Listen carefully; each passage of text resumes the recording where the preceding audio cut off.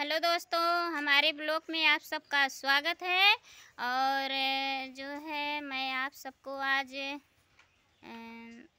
कुछ है मतलब सास, बहू और ससुर, माँ, बाप को रिलेशन से लेकर जो है आप सबको हम कुछ बताना चाहते हैं, उन्हीं के बारे में बात करेंगे।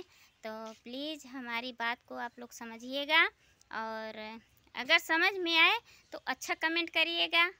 अगर नहीं समझ में आएगा तो बुरा कर देना, कोई बात नहीं, हमको इतना टेंशन नहीं है।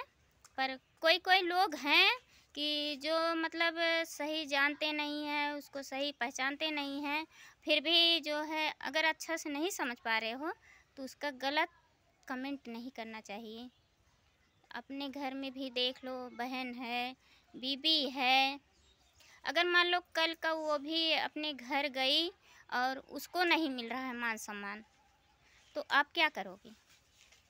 दूसरों के घर झांकने से अच्छा है कि पहले खुद के घर देख लो कि हमारे घर में हमारे परिवार में क्या हो रहा है। और जहाँ तक मतलब मेरे वीडियो का सवाल है कि आ, मैं अपने परिवार का पहले मान सम्मान करूँ फिर दूसरों को बताऊँ। तो जहाँ तक मैं जानती हूँ कि मैं अपने परिवार का मान सम्मान हमेशा करती हूँ। हमारे पास एक बेटा है, एक बहू है, बहू तो बहू को हम कभी बहू समझे नहीं। उसको बेटी ही समझते हैं और क्योंकि हमारे कोई बेटी नहीं थी, बस सुनील ही था। और जब से वो आई है, हमको बेटी की कमी महसूस हुई नहीं। तो हम कैसे ये सोच लें कि हम उसको मान सम्मान देने में कोई कमी रख रहे हैं? अगर कमी रख रहे हैं कुछ तो हमको वो खुद ही कहती कि हाँ हम जो है उसका मान सम्मान नहीं कर रहे हैं या मतलब उसको खुश नहीं रख रहे हैं तो उसको खुद शिकायत करना चाहिए। हमको खुद शिकायत करना चाहिए। दूसरों की शिकायत करने से कुछ नहीं होता। अगर दूसरा कोई शिकायत करेगा तो उसमें परिवार में तनाव पैदा होगा और परिवार बिखर जाएँगे, बर्बाद हो जाएँगे, उससे कुछ नहीं होगा। उसे हम लोग चाहें अगर कि कोई कुछ चीज़ हासिल कर लें तो उससे कुछ नहीं हासिल होगा। पर दोस्तों जो है, हम हमारे माँ बाप हमको मारते हैं, पीटते हैं, फिर भी दुलार करते हैं। तो क्या वही चीज़ अगर हमारी सास कर रही है, ससुर कर रहे हैं तो क्या वो बुरे कर रहे हैं? कसते ही नहीं। वो भी कहीं ना कहीं उनका प्यार उसके अंदर छुपा है। तब वो कर रहे हैं। कहीं गलत देखेंगे या गलत सुनेंगे, तब जाके वो बोलेंगे या नहीं बोलेंगे फिर भी सास तो थोड़े देर के लिए वो मतलब ये सोचेगी, अगर हम बोलेंगे तो कहीं उनको बुरा ना लग जाए। पर माँ माँ नहीं सोचेगी। माँ तुरंत उसको डांटेगी बोलेगी मार भी देगी। चाहे वो कितनी भी बड़ी बच्ची हो जाए चाहे कितना भी बड़ा बच्चा हो जाए पर उसका कोई गलत अर्थ नहीं निकालता है।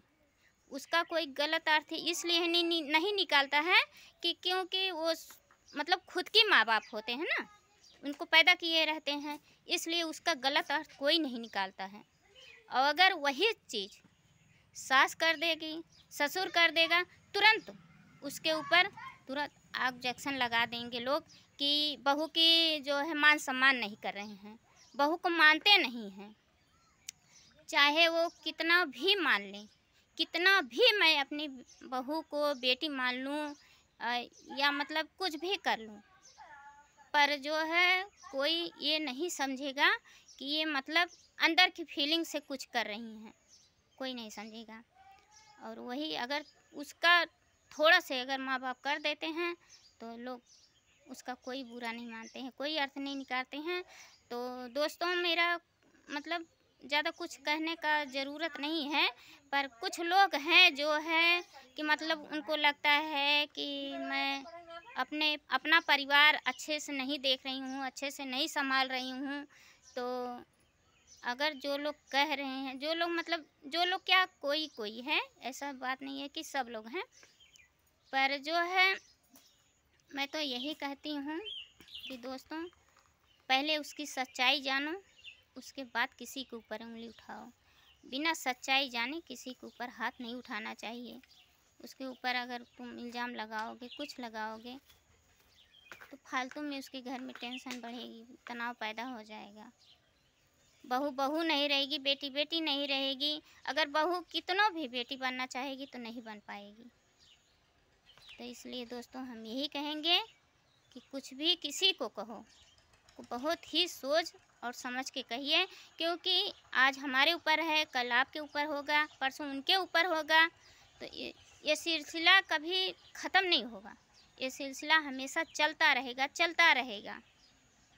पर अब जिसको नहीं समझ में आएगा, हम लाख समझा लें लाख हम बता लें लाख हम अपनी मतलब अच्छाई का सबूत दे दें पर कोई नहीं मानेगा। क्योंकि नहीं मानेंगे कि उनके दिमाग में पहले से ही कचड़ा भरा है? तो उनको समझ में आएगा ही नहीं।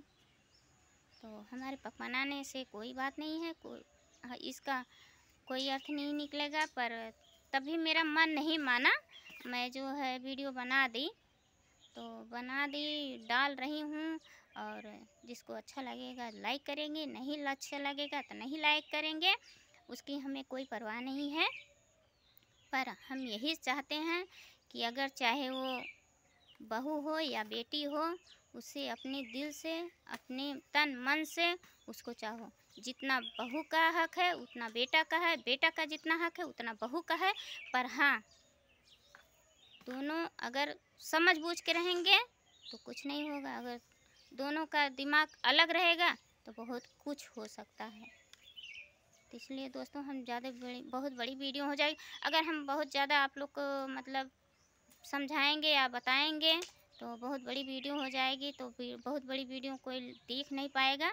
इसलिए हम बस यहीं पे समाप्त कर रहे हैं और जो बुरा कमेंट करते हैं ना उनके भगवान भला करें।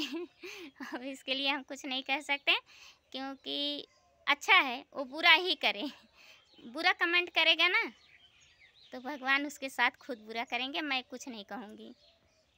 बाय दोस्तों, अगर हमारी वीडियो में बोलने से किसी को दुख हुआ होगा, अगर कोई परेशानी होगी तो उसके लिए मैं माफ़ी चाहती हूँ। बाय।